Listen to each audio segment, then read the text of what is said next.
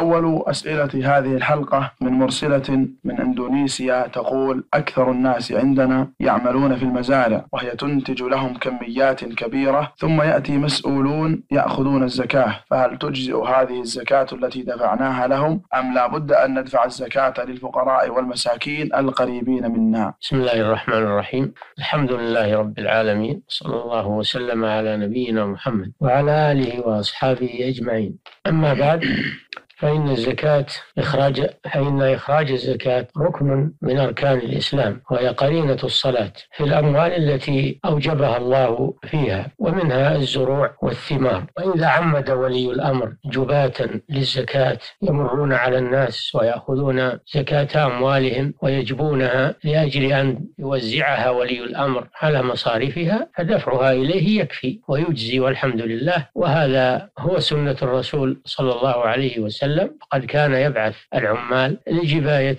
الزكاة وتوزيعها على مستحقها وإذا لم يرسل ولي الأمر جباة للزكاة فإن المسلم يخرجها ويوزعها على المستحقين ممن حوله في بلده وأقاربه المحتاجين. نعم.